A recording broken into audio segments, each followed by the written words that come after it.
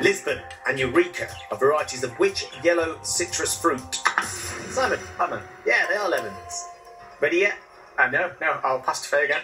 Faye, Oh going goodness. straight back in. Don't need to answer the question. Simon's going to pass these counters All to isn't it? Yeah. Right, come on. Where are we going to go? I'm just going to go back to drop zone three. Good chat. Fire up drop zone three, please. Simon's trying to control the game. Is it going to pay off? Or can you prove him wrong here, Faye?